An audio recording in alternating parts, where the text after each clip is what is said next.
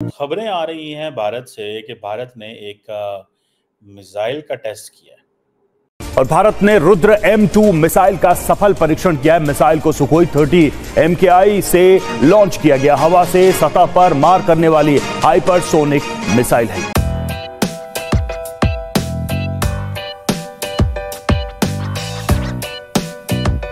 एक ऐसी मिसाइल है जो दुश्मन के किसी भी तरह के एसेट यानी हथियार बंकर जहाज़ विमान आयुध डिपो को उड़ा सकती है Well, Rudram 2 is India's first indigenous anti-radiation missile, which is indigenously manufactured by India's DRDO. Major साहब आपके इंडिया में एक न्यूक्लियर मिसाइल जो है उसको टेस्ट किया गया है और इसे कहा जा रहा है फोर्स मल्टीप्लायर ये जो टेस्ट फायर किया है इसका नाम है Rudra M two China India को थ्रेट कर रहा है। चाइना इंडिया को घेरने की कोशिश कर रहा है इंडियन ओशन के अंदर। और इंडिया चाइना की वेट नहीं कर रहा कि हमें घेरे। इंडिया चाइना को चाइना के घर में घुस के मारना चाहता है। दोस्तों खबरें आ रही हैं भारत से कि भारत ने एक मिसाइल का टेस्ट किया है।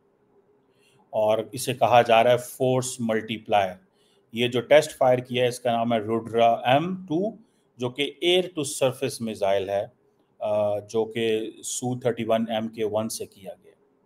इंडिया की जो defence research and development organisation है, जिसे D R dough D R D O बोला जाता है, उसने आज जब के पाकिस्तान ने आपको याद होगा, कल तकरीबन 28 मई को पाँच न्यूक्लियर धमाके किए।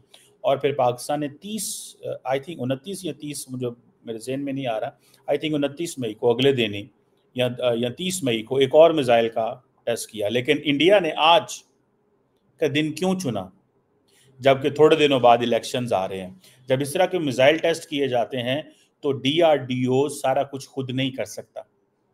डीआरडी को डीआरडीओ को परमिशन लेनी पड़ती है डिफेंस मिनिस्टर से, या प्राइम मिनिस्टर ऑफ़िस इसमें इन्वॉल्व होता है। अब ये जो S U thirty M K one का जो प्लेटफॉर्म इस्तेमाल किया इंडियन एयरफोर्स ने, ये क्यों किया है? और कहा जाता है कि आज ये सुबह साढ़े दस जो कि उस वक्त मेरा ख्याल पाकिस्तान में सुबह ग्यारह का टाइम होगा। उड़ीसा की एक कोस्ट से जो है वो टेस्ट किया गया। इस पर प्रेस स्टेटमेंट भी जारी की गई है। और इसका क्या मकसद? है देखें एक तो प्योरली जो परफॉर्मेंस होती है मिज़ाइल की उसका मकसद एक टेक्निकल होता है। फॉर एग्जांपल जी फ़्लाइट डाटा कैप्चर करना ट्रैकिंग इंस्ट्रूमेंट्स को चेक करना इलेक्ट्रो ऑप्टिकल सिस्टम्स को देखना रिडार एंड टेलीमेट्री स्टेशन जो डिप्लॉयड किए जाते हैं उनको देखना और डिफरेंट लोकेशंस में। सो so, ये एक टेक्निकल चीज़ें भी होती हैं इसमें। ये नहीं होता कि ऐसे नहीं होता। सो so, अभी इंडिया के जो डिफेंस मिनिस्टर हैं राजनाथ सिंह साहब उन्होंने भी इसके ऊपर भी मुबारक दी है इंडियन एयरफोर्स को, कि आपने बड़ा ज़बरदस्त काम किया, ये जो टेस्ट किया है। अब ये जो रुड्रा एम वन है, ये एक indigenously developed solid propelled air launch missile है, जो कि एयर टू सरफेस जिसका रोल है। और ये कहते हैं जी कि हम एनिमी के एनिमी मींस पाकिस्तान या चाइना टेक्निकली पाकिस्तानी।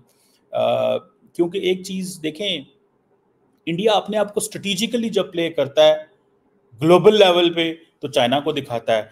जब अपनी आवाम को दिखाना हो तो पाकिस्तान को दिखाता है। उसकी मिसाल मैं दे देता हूँ आप। मिसाल के तौर पर प्राइम मिनिस्टर मोदी ने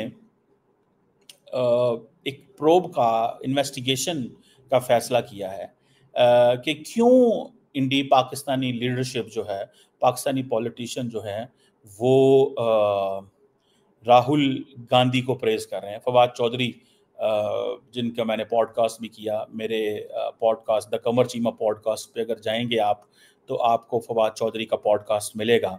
और मैंने उस पर उन्हीं फवाद चौधरी से यही सवाल पूछे अपने पॉडकास्ट में कि क्यों प्राइम मिनिस्टर नरेंद्र मोदी आपके बारे में कमेंट कर रहे हैं?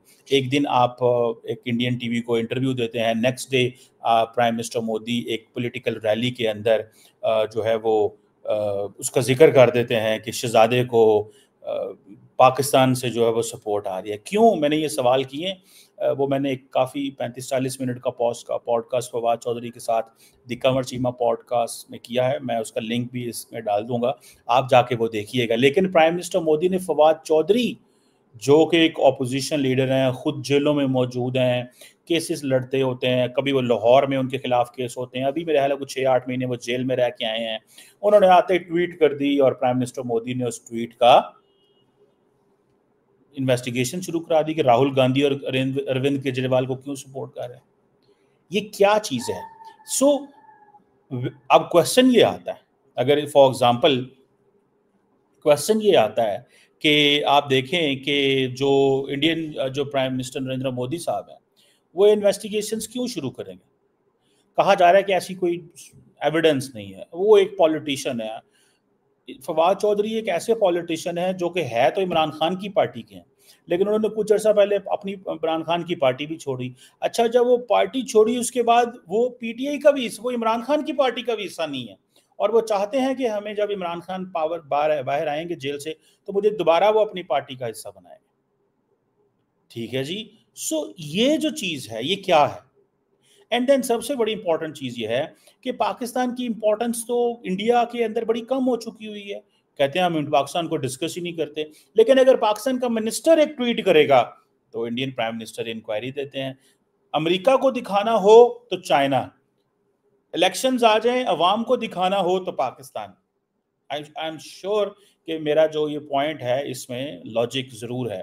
और ये अब लेकिन साथ ही में अगर आप देखें कि एक तरफ़ ये चीज़ हमें नज़र आती है कि प्राइम मिनिस्टर मोदी जो हैं, वो बड़ी ताकतवर पोजीशन में प्राइवेट कंपनी है डीआरडीओ की मदद से बना रहा है। और इसकी रेंज कह रही है दस हज़ार से बारह हज़ार तक की होगी मतलब कि इंडिया जो है, यहाँ से बैठ के यूरोप तक को भी हिट कर सकता है।